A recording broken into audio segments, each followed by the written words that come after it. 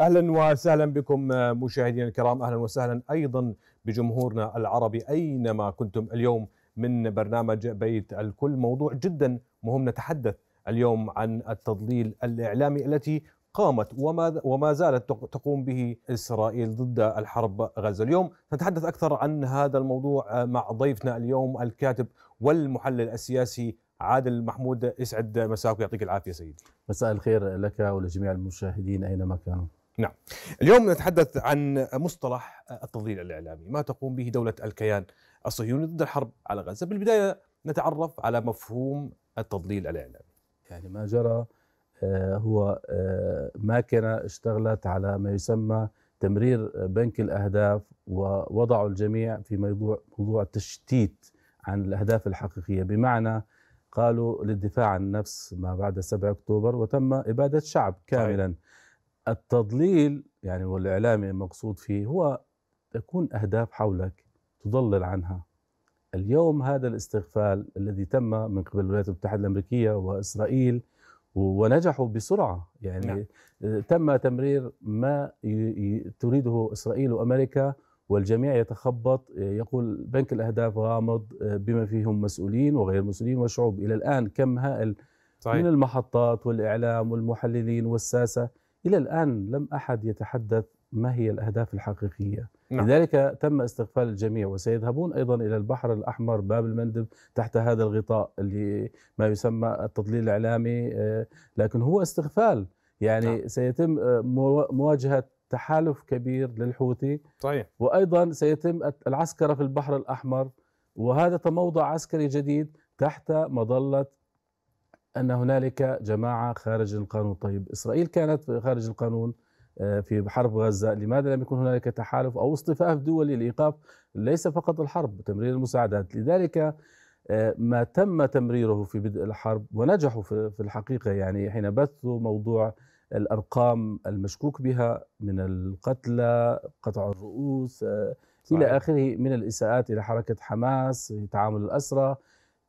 هذا الأمر أنا من وجهة نظري يكرر في ملفات أخرى. صحيح. يعني هو أستاذ عادل يعني هي العقلية الصهيونية اعتادت على تزوير الحقائق ومنذ اليوم الأول من هذه الحرب كان هناك الكثير من الصور والفيديوهات المفبركة تحديدا. نتحدث عن الاستراتيجية العقلية الصهيونية في فبركة الحقيقة. يعني الجديد أن الراعي للحرب وهو الولايات المتحدة الأمريكية تقود الأمر سياسيا وعسكريا وحتى اعلاميا. جرت العادة أمريكا تكون واضحة في أهدافها لا تلجأ إلى الاستغفال. تضع دول بعينها. يعني نحن نموذج غزة كان هنالك دول بعينها. ليس على اطلاع ما يجري من الخطة وتداعيات الخطة.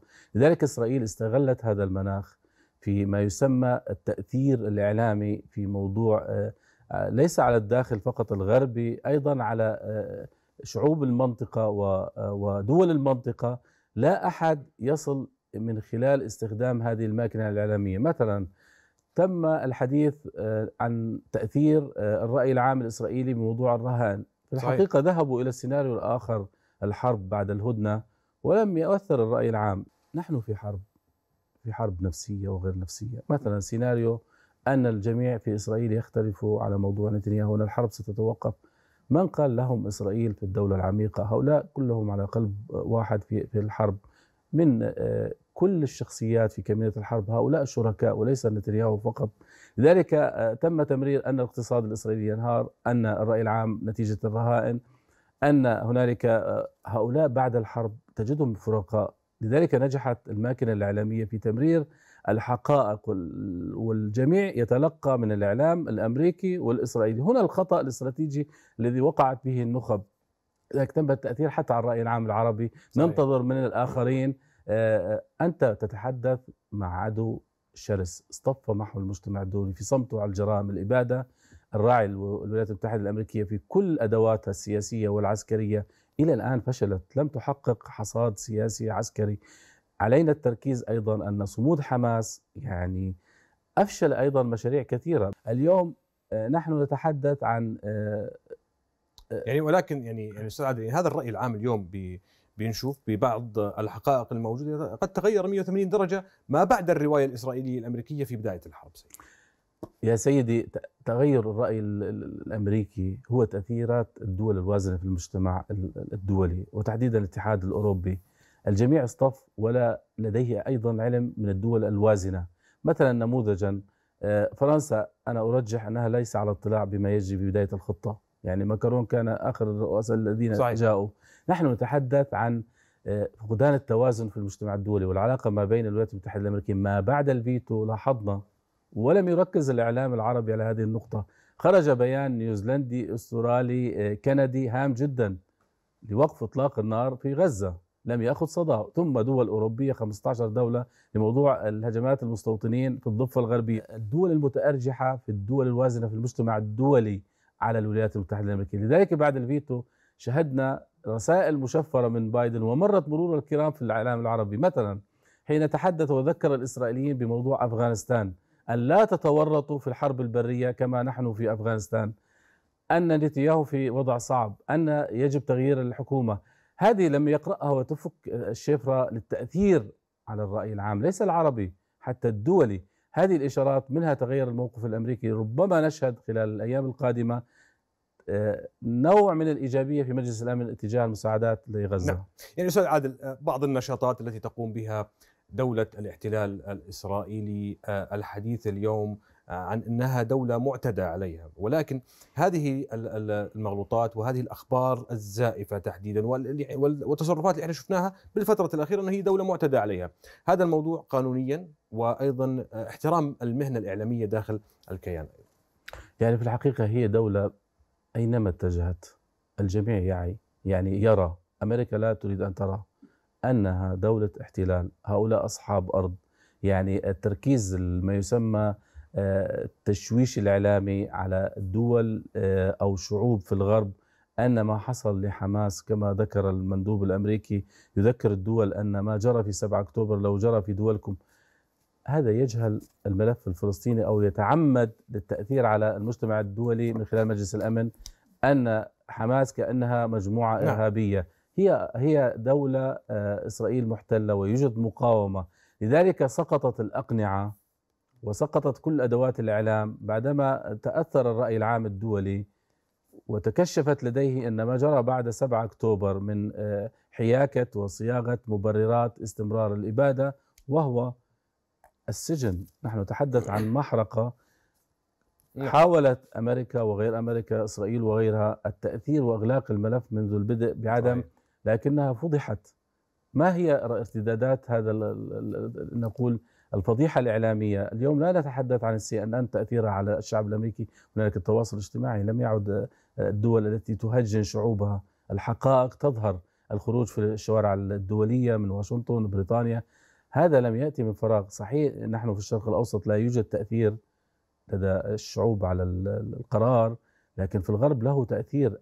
الحروب تتوقف نتيجة ضغوط هذه الشعوب في نهاية المطاف نتحدث عن الرأي العام. لكن سيدي نأخذ نماذج. اليوم نتحدث عن إسرائيل. استخدمت بعض الخوارزميات وأيضا استخدمت بعض منصات التواصل الاجتماعي وأيضا الذكاء الاصطناعي في تحريف الحقيقة. اليوم في تضليل المعلومة لكل الرأي العام والناس. يا سيدي إلى متى؟ نحن نتحدث اليوم أن غوتيريش يعني رأس الأمم المتحدة لجأ إلى بوند 99 لأن الأمور خرجت عن طوره يعني أخرجوه عن طوره اليوم نتحدث عن رأي عام نتيجة آه، هذا الحصار آه، هذا الإبادة آه، الجوع.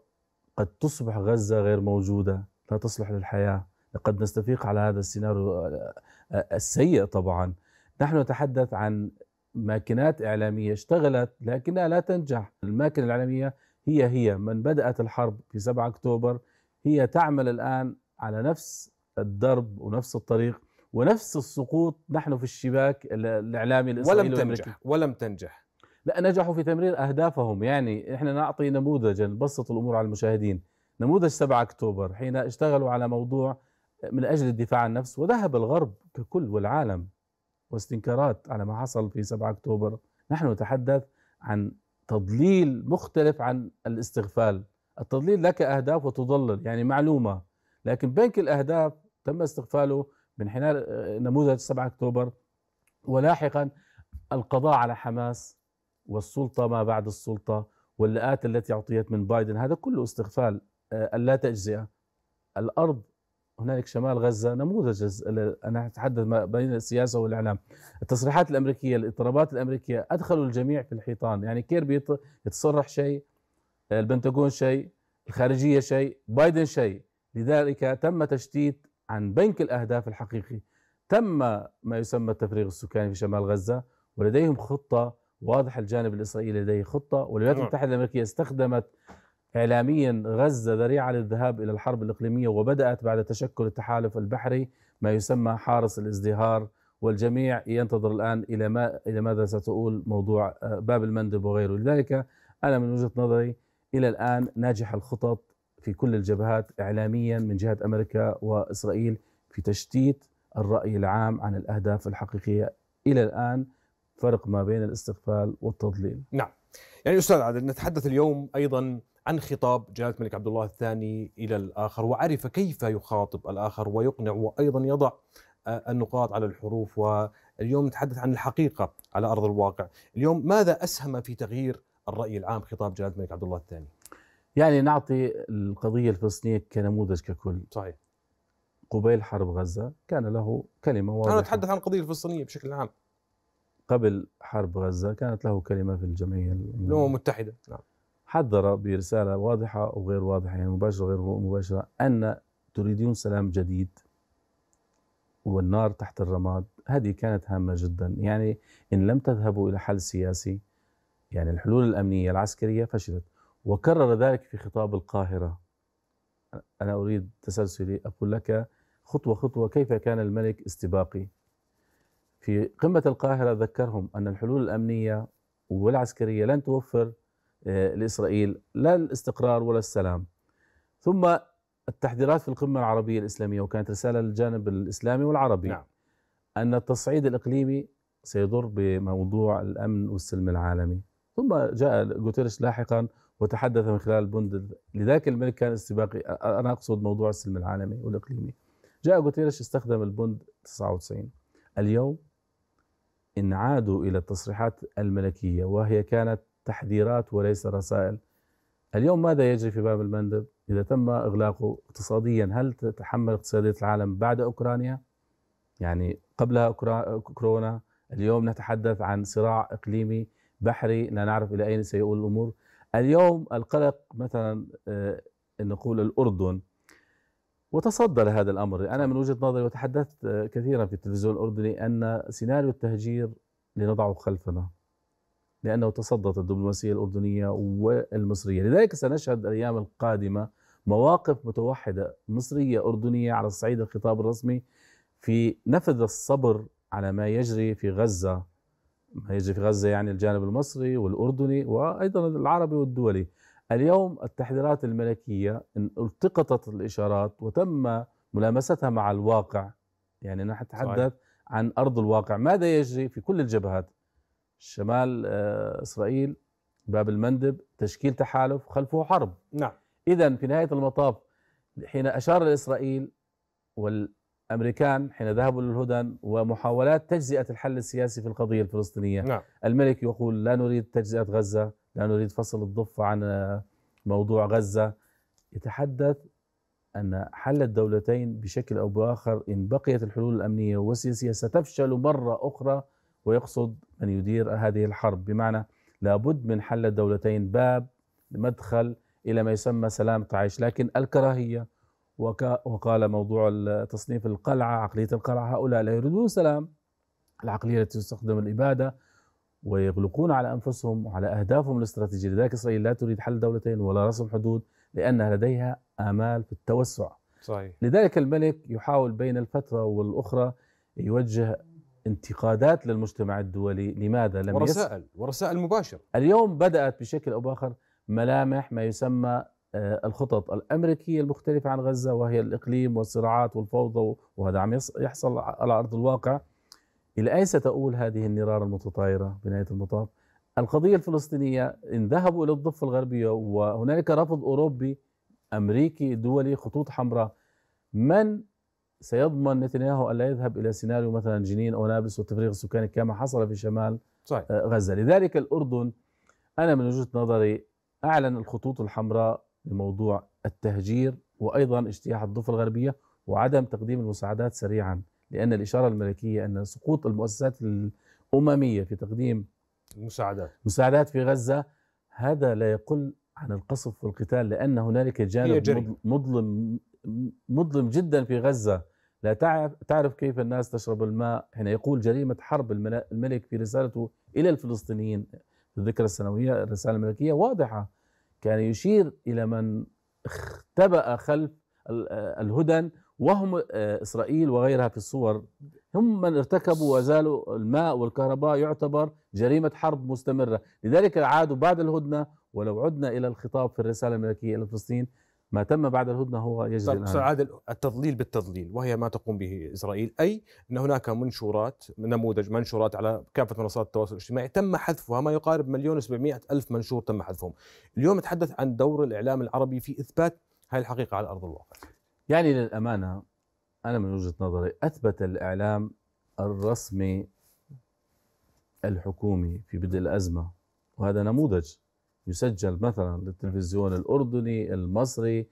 كانت الحكومات والإعلام في مقد- مقدمة الشعوب وهذا هام جدا حتى لا يخطف الإعلام الغربي والإسرائيلي الشعوب في موضوع الطابور الخامس. بمعنى اليوم من أسير الإعلام التواصل الاجتماعي؟ نعم. جيل الشباب وهذا مهم. اليوم ثقافة كل ما يأتي على التواصل الاجتماعي يذهب سريعا إلى التصديق. حين تصدت الحكومات والقنوات الإعلامية وفتحت هذا المجال والفضاء وهذا هام جدا تطور هام مناسب للحدث وحجم الحدث.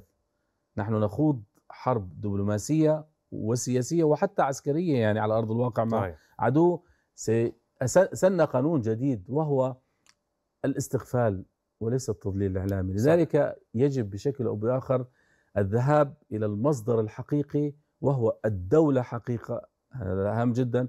وعدم تلقي الرسائل أو التواصل الاجتماعي من آه، غير المصادر الحقيقية. نحن في حالة سيناريو مفتوح. لا نعرف نعم. سيؤدي. نعم. أستاذ عادل محمود آه، شكرا لك. أهلا وسهلا. شكرا لك سيدي. شكرا.